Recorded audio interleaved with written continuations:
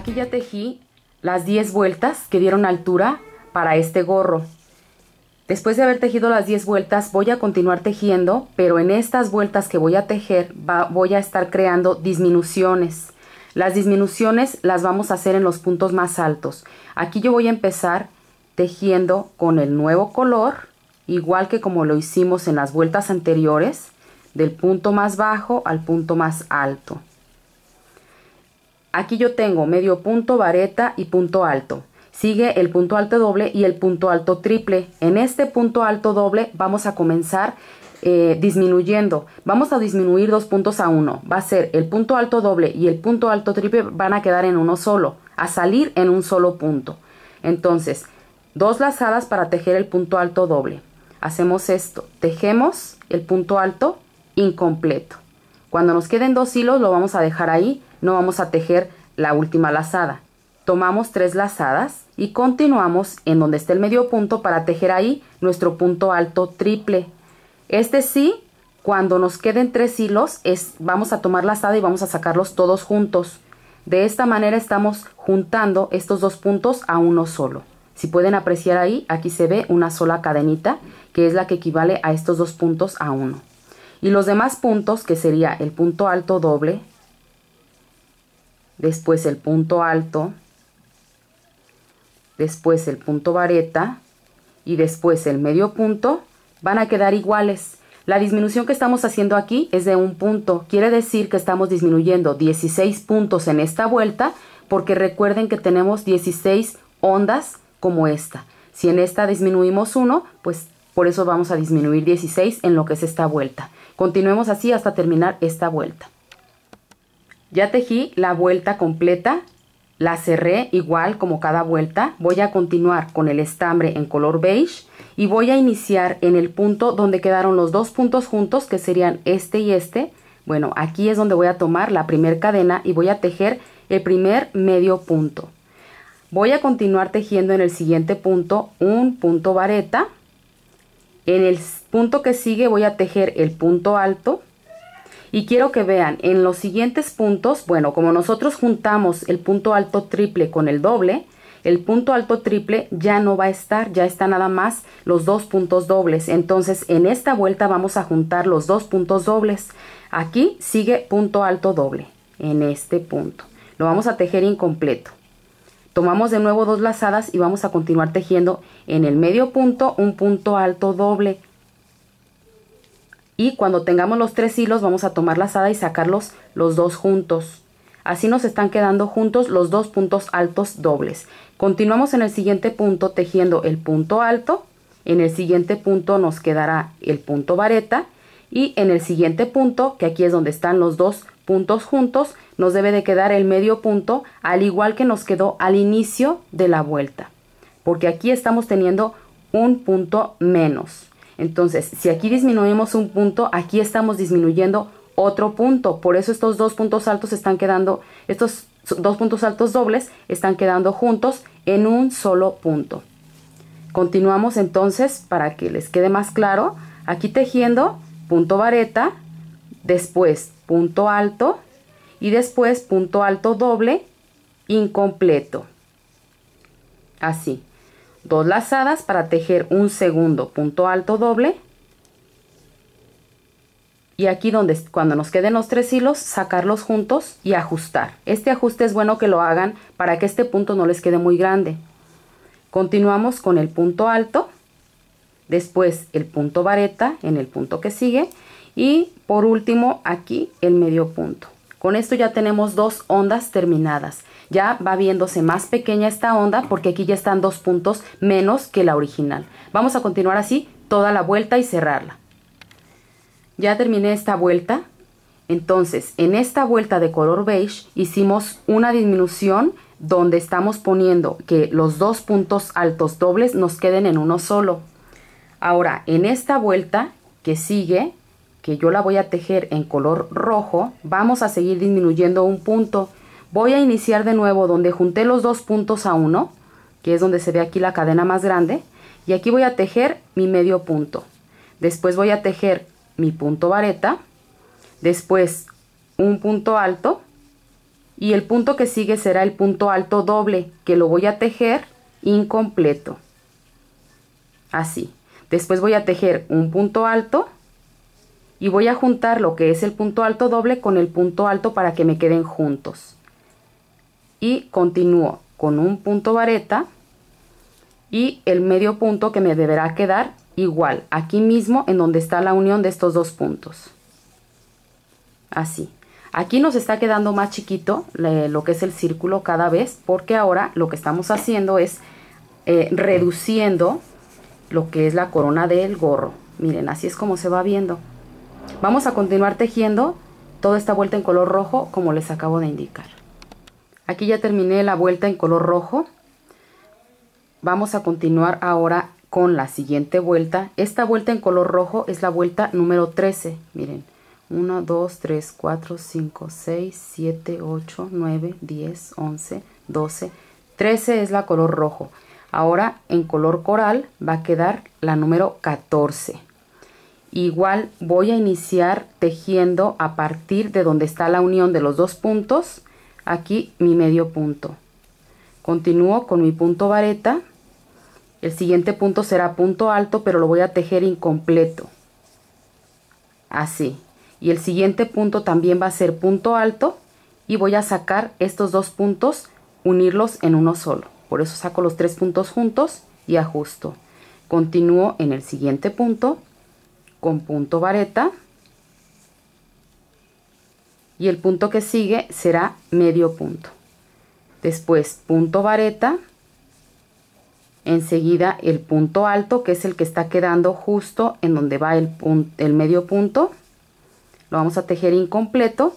Tejemos el siguiente punto como punto alto. Al tener así los tres hilos así sacamos con uno solo y ajustamos.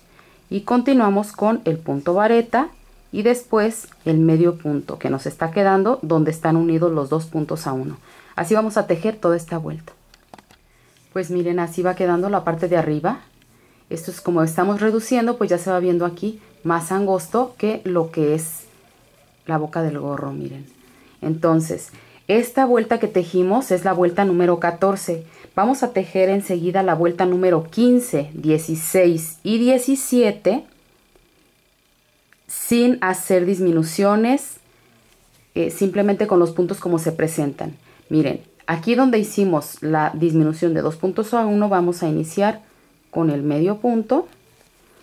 El siguiente punto será el punto vareta el siguiente punto, que es donde está el medio punto, ahí vamos a tejer el punto alto. El que sigue será punto vareta y el punto que sigue, donde están unidos los dos puntos, va a ser el medio punto. Así nos va a ir quedando. Vamos a tejer esta vuelta, así como se muestra en esto de aquí. Son muy pocos puntos ya. Y vamos a terminarla tejiendo esta vuelta que es la número 15 así y la 16 y otra más que será la 17 entonces tres vueltas iguales a esta ya estamos casi cerrando el centro esta es la vuelta número 17 la que tejimos en este color coral ahora vamos a tejer la vuelta número 18 aquí con las dos cadenas muy reforzadas comienzo y me voy al siguiente. Ahora, el punto más alto es el punto alto, el que está en medio. Ahí es donde voy a iniciar con mi medio punto. Sigo donde va el punto vareta. Eh, bueno, en el siguiente punto, aquí voy a tejer el punto vareta, pero va a ser incompleto, dejando dos hilos en el gancho. Continúo en la parte del centro donde va el punto alto y ahí voy a tejer el punto alto completo pero en la última sacada voy a sacar los tres hilos para que queden unidos el punto vareta con el punto alto y continúo tejiendo un punto vareta y el siguiente un medio punto igual continúo con un punto vareta incompleto el siguiente punto que toca aquí es el punto alto que vamos a sacarlo en la última sacada van a ser los tres hilos juntos y ajustamos otra vez punto vareta y después medio punto y así sucesivamente hasta terminar esta vuelta. Aquí ya terminé la vuelta donde junté el punto vareta con el punto alto. Vamos a iniciar la siguiente vuelta donde unimos el punto vareta con el punto alto. Aquí vamos a tejer nuestro medio punto y después un punto vareta. Este punto vareta lo vamos a tejer incompleto y vamos a tejer otro punto vareta en el punto siguiente aquí. Y estos dos puntos vareta los vamos a sacar juntos. Estamos juntando dos puntos a uno. Continuamos tejiendo un medio punto. Aquí lo que nos está quedando es el medio punto, los dos puntos vareta juntos y un medio punto. Entonces, seguimos un punto vareta incompleto, el siguiente punto vareta, ahí está incompleto y tomamos la lazada y sacamos los tres hilos juntos y continuamos con un medio punto. Otra vez un punto vareta incompleto, el siguiente va a ser un punto vareta incompleto y sacamos los tres hilos juntos, continuando con un medio punto. Recuerden cada que eh, lleven dos puntos a uno, jalen para ajustar el punto y que no les quede muy abierto. Continuaremos así ahora hasta terminar esta vuelta. Pues miren, aquí ya terminé esta vuelta cada vez queda más chiquito. Ahora, este círculo lo vamos a hacer que nos quede más pequeño. Lo que vamos a hacer es trabajar con medios puntos. Vamos a tomar el color que sigue y vamos a iniciar tomando punto a punto igual. Podemos tomar el punto de en medio de los que estábamos tomando y aquí tejer un medio punto. Entonces, vamos a seguir tejiendo los medios puntos, pero vamos a tejer los medios puntos incompletos, dos de ellos, para juntar en que salga en un solo punto dos puntos. Es decir, vamos a disminuir dos puntos a uno. En el siguiente punto tejemos así para que nos quede el medio punto incompleto. Volvemos a meter el gancho en el punto siguiente, sacamos la lazada y con esto ya sería como quien dice otro medio punto incompleto y sacamos los tres hilos juntos, ajustando. De nuevo, tomamos en el siguiente punto, metemos, sacamos lazada. En el siguiente punto, metemos, sacamos lazada y los tres hilos los sacamos con una lazada juntos y ajustamos. El siguiente punto, tomamos lazada, metemos en el siguiente punto, tomamos lazada y estas tres lazadas las sacamos juntas, ajustamos.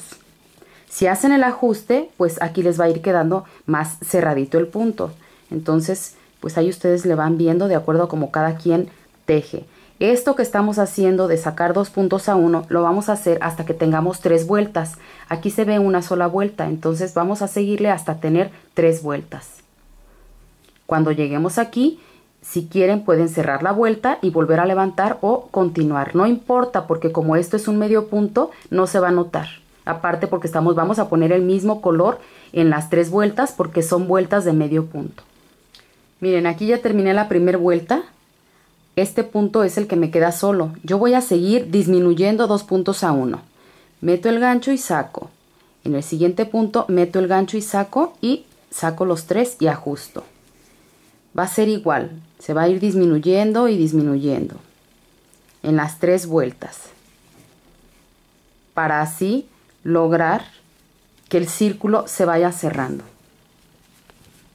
Miren, así se va a ir viendo.